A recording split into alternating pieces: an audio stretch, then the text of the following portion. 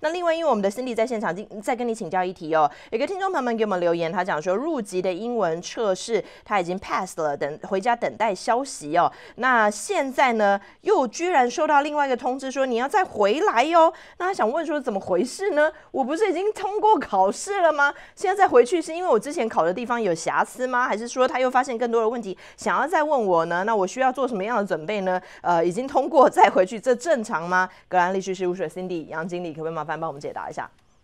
呃，好的，这种情形呢不太常见。哦，呃，如果说真的是你上次去哈，所有的部分都考过，他给你一张纸写的很清楚，有 pass 的这个 test，然后可能会写说这个 decision 还不能 make 啊，就是这样写的。那么让你回去呢，有两个可能性。哎，有个可能性呢，就是说可能面谈的时候啊。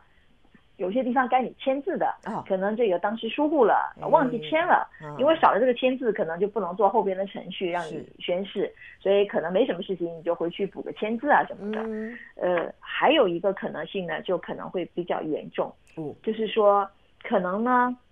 在你面谈以后。啊，这个移民官再次审核你的档案，嗯，或者说他把你的档案交到他的上司 supervisor 再去重审的时候，哎，在你的档案里发现了问题，而且是很严重的问题啊。呃，比如说您在您的原居国，呃，就原来出生的地方，或者任何世界任何国家，包括美国，比如说你被发现了有这个严重的犯罪记录，嗯，呃，或者是属于就是说在逃的。呃，就是有通缉令什么在逃的，类似这种，哎，就是很严重的事情的话，那这个事情早知道说，呃，你应该是要马上会要被逮捕的哈，那就有可能，呃，移民局以这个面谈为一个啊名义啊，名头说，哎，你来面谈，对，他是事先安排好这个，比如说移民警察太可怕了，当场逮捕哈，哎呀，这个情形呢。